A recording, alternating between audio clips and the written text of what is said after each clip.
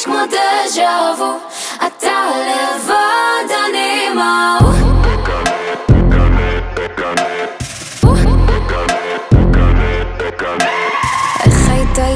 על המיטה הזו שאני קניתי. איזה בדיחה שוב סליחה זהו אני מיציתי לא תירוצים לא להמציא תכף אנחנו פיטים.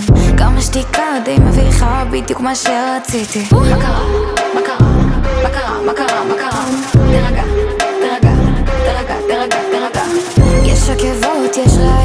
אבל אני לא שופטת. אם חטאים זה טעים, אז גם אני